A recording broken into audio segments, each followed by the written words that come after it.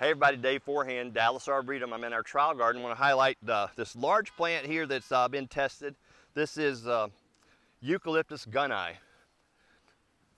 Some people call it cider gum. Uh, it's a common name for this eucalyptus. Uh, this particular variety is called silver drop, so it's a really small leaf eucalyptus and, and uh, this is about as large as I've ever seen one. They typically are only four or five feet full grown and people grow them as a summer annual even though they're hardy. Uh, they'll put them in the bed for the color of the leaves. Uh, these make great cut branches too. People love to use these eucalyptus in floral arranging. And the smell itself is worth having, just this beautiful eucalyptus odor. But the bark and the trunk are really gorgeous too as they get uh, more mature. Uh, very much kind of reminds me of a Mediterranean type of uh, plant, even though this thing is native to Tasmania, over there next to Australia. Uh, but it's grown around the world and temperate climates as a beautiful ornamental plant. So again, it's called silver drop eucalyptus.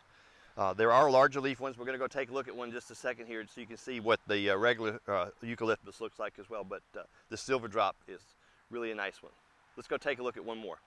Hey everybody, Dave Forehand. Here we are back. This is a full uh, size eucalyptus. You can see the leaves are a lot larger on this one than the uh, one we just saw. And you can see this plant will get a lot bigger too. But again, just beautiful color.